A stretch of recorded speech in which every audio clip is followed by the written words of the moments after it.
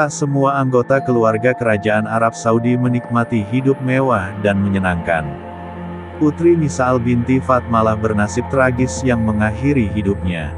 Dia harus menerima hukuman mati karena dituduh berzina dengan kekasihnya saat kuliah di Lebanon. Padahal, ketika itu sang putri telah dijodohkan dengan pria lain.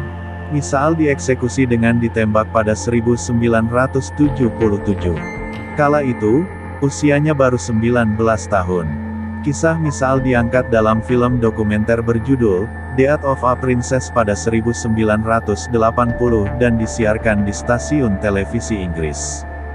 Misal dan kekasihnya sempat kabur ke beberapa negara dengan melakukan penyamaran untuk menghindari penangkapan.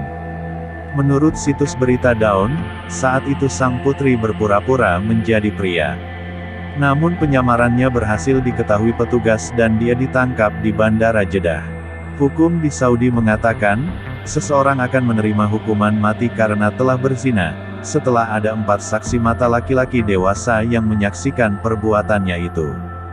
Jika tidak ada saksi, maka pelakunya harus mengaku telah berzina sebanyak tiga kali. Keluarga misal dikabarkan memohon kepada putri cantik itu untuk tidak mengakui perbuatannya. Pihak keluarga hanya meminta misal menjauhi kekasihnya dan tidak menemuinya lagi. Namun, Misal justru mengatakan sebanyak tiga kali bahwa ia telah berzina. Mendengar pengakuan itu, kakeknya, Muhammad bin Abdul Aziz Al Saud yang juga kakak Raja Salman geram dan langsung memerintahkan eksekusi itu.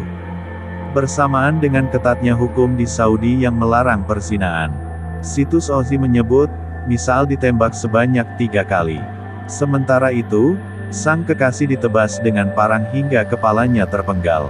Keduanya dieksekusi di Jeddah, tepatnya, di wilayah Taman Gedung Ratu Arab Saudi.